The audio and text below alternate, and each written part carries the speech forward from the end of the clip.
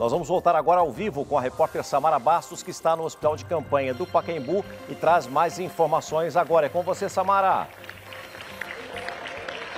Oi César, olha só que imagem bonita. Essa é, a, é, a, é uma mulher, é a, são dois pacientes que estão tendo alta. Essa é a mulher, ela tem 61 anos, está tendo alta aqui do hospital de campanha do Pacaembu. Ela ainda sai com suporte de oxigênio, mas já está bem agradecida, muito feliz. Eles tocam um sininho, vou pedir para o Thiago mostrar de novo. Agora vai sair o último paciente, então é um homem de 55 anos.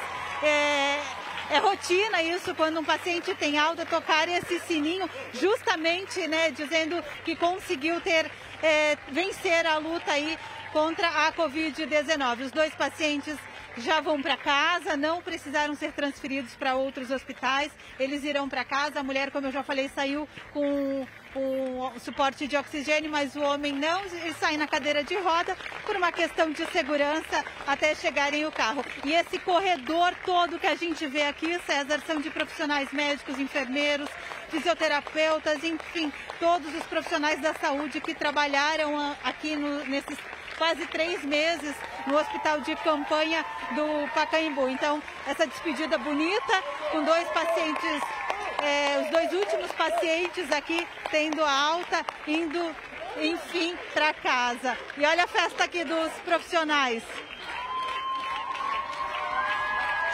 Todos muito agradecidos e muito felizes pela missão que conseguiram completar aqui no hospital de campanha. César.